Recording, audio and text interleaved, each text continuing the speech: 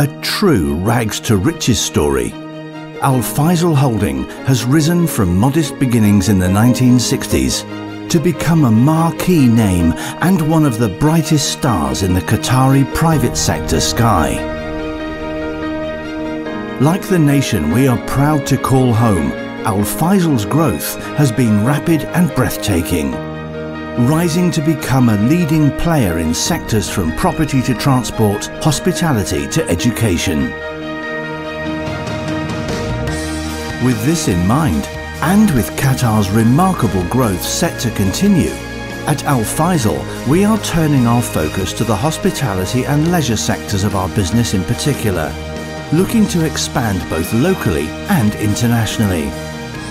Our wholly owned subsidiary Al Rayyan Tourism Investment Company, or ARTIC, now boasts a portfolio of over 24 hotels across MENA, Europe and America, and represents the link between this proudly Qatari company and its growing international profile.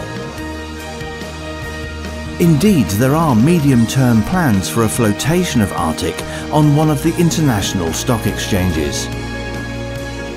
Publicly listed in 2007, Aamal is among the largest public companies in Qatar and comprises a diverse range of subsidiaries, including market leaders in industrial manufacturing, property, trading and distribution, and managed services.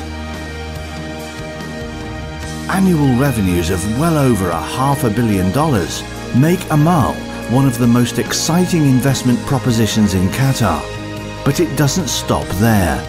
Further growth and diversification is set to be driven by a three-pillar strategy for sustained and profitable growth, targeting key high-growth sectors to deliver consistently strong returns and optimized performance. Qatar's economy continues to flourish, and if one thing is for certain, it's that Al Faisal Holding and Aamal Company will be at the forefront of this progress giving back to the nation that has given us so much and helping to make our vision of a sustainable, secure and prosperous Qatar a reality.